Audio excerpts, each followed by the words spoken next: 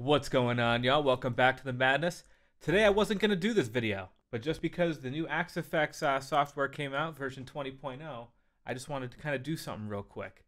So, let's see what the hell happens. You might see a little red mark right here. I smashed my head into my door earlier today. I've had a really great day in that way. So, let's just get this thing going, shall we?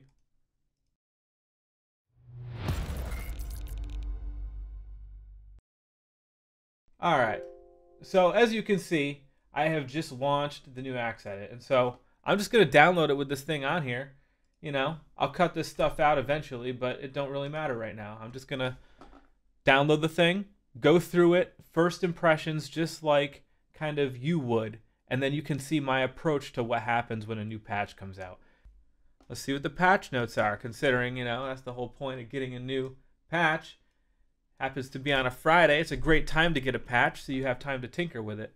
Speaking of which, I guess while I'm waiting for this thing to load up, I have a feeling I'm going to have to. I'm a dumbass.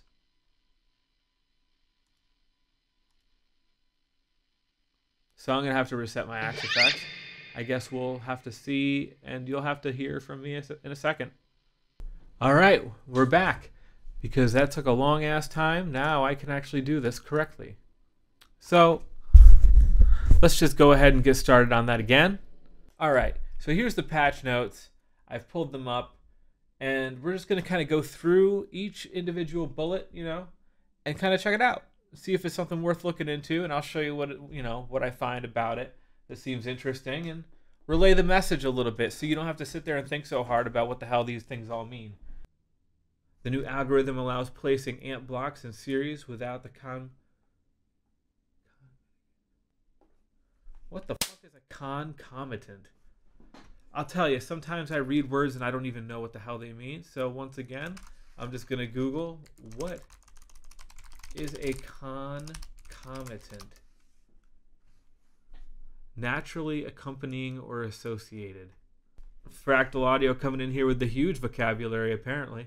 Okay, so what this thing is saying is when you've got a mixer block, boom. Okay, so this is what we can do now, apparently. Now when you change scenes, apparently, it's quiet. I guess it used to make some some sound bursts. at one. So what it looks like to me is that the new algorithm, if you set it to zero, then all of the modeling that's going on within right here.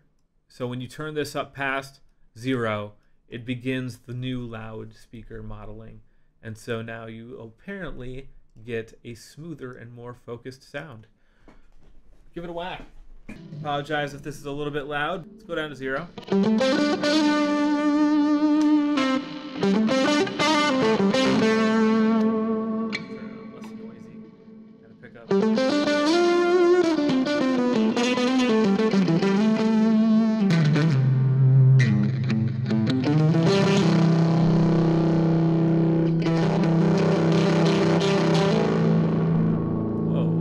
Now we've got dynamic distortion. Woohoo. Let's give it a whack. So what they're saying is we've got these different um, we've got these different presets now available to us in this new block. So let's just go flat. Let's see what happens. Then we've got these different filters. We got filter type, frequency, Q, gain, clip shape, bias, drive, mono, stereo, level, pan. We've got a filter here. Let's just do a uh, yeah, let's do a peaking. Let's see, what do we want the gain to be? I think nothing too crazy like that. Let's increase our Q. Make it a little bit more narrow. Make it 3 dB. 3 dB is the half power, so you're giving 50% more power to the signal on these specific frequencies. And then let's change the frequency to, where do we want it? Let's see that.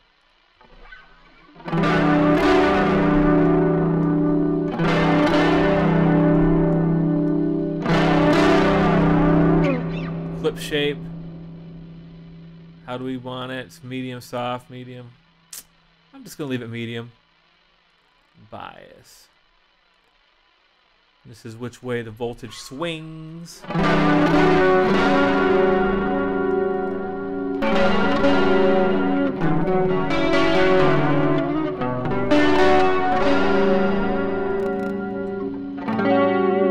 So, as we said before, when it's at zero, obviously, no gain. Except for on those frequencies.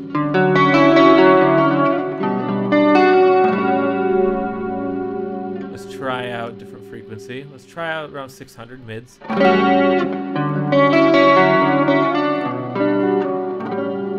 Sounds nice. Let's give it some treble.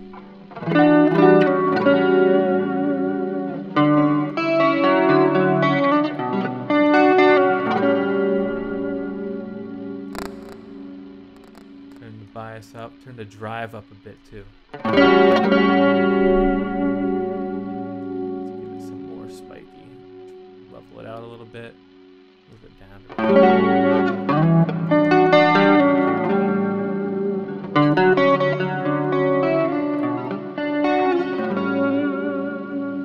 Let's try out some more drive. Give it all the way up to five or so. You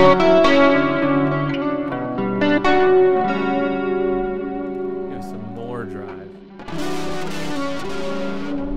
Yes, way too much. You can hear it at 10. It's just it doesn't really sound very good.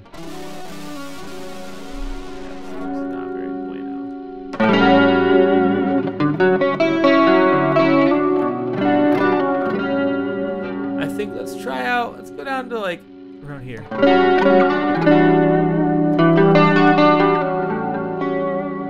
That sounds pretty good. Maybe you don't, but I do. Let me see here. Stereo.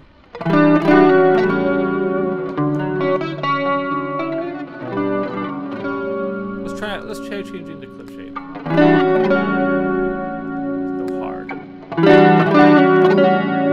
And so hard clipping is basically when the top of the signal flattens out because too much voltage was sent and not enough of it can be read in.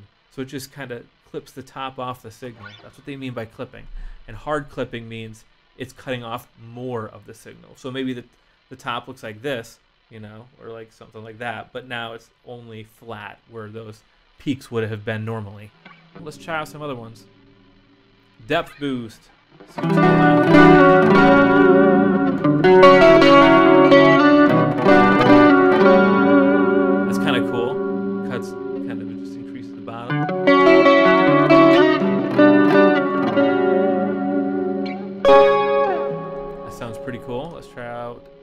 Depth cut.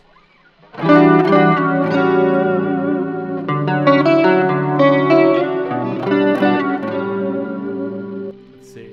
You know what? Let's give some distortion to the. Actually, let's use some of this uh, speaker drive because we're feeling like we want to test everything out. Mid boost. Let's go.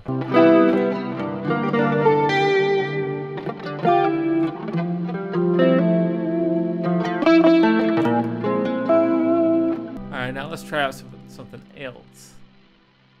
Let's do mid cuts. So it's basically just showing you what what we're going through here. Basically, is shaping this filter, right?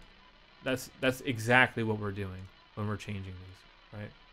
You know, the Q might go around, change depending on the filter in order to make certain parts of the filter stand out more than others. But the way to read this really is just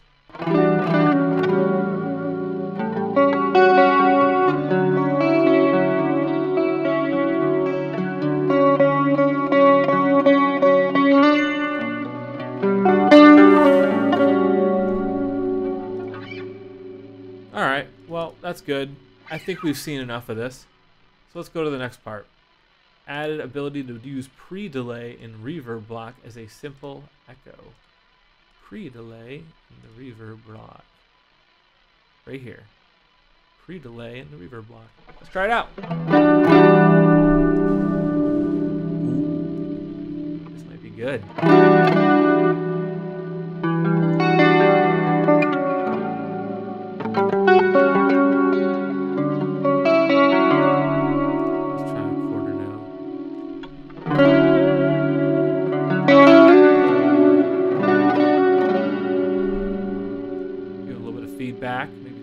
25%.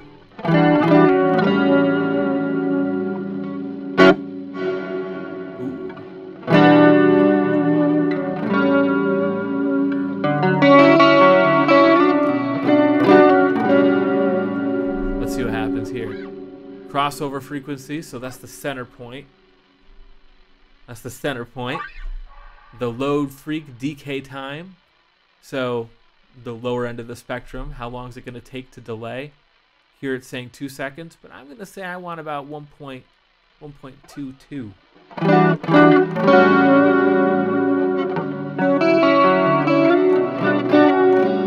And I want the high decay time to be a little bit longer.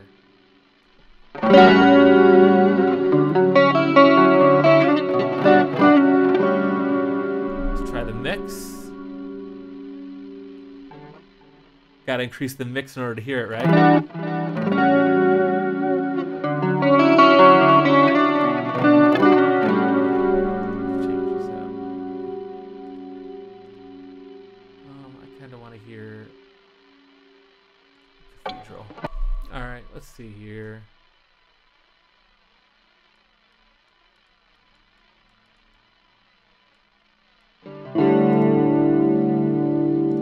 So what I'm thinking now is I'm just gonna, you know, tinker around with this reverb block for a second.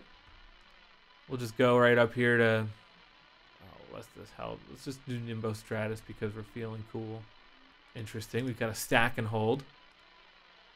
Do we want to stack? Let's try stacking.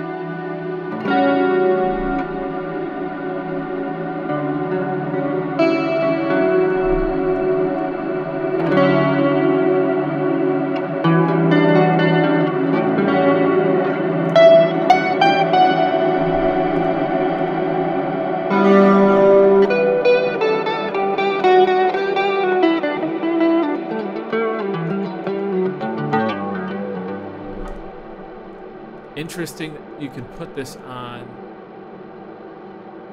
an LFO.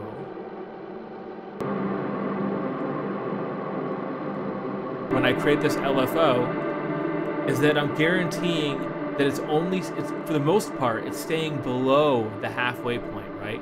Because of the way I shaped it. So look, stack off, stack off. That way I'm guaranteeing that it doesn't turn into a feedback loop.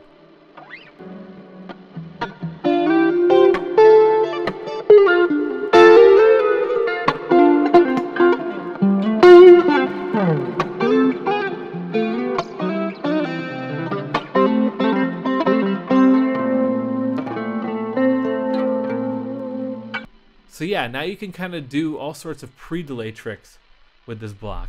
I kind of like it. Pretty good patch so far. Fixed amp block scene, ignore not being recalled currently in some cases.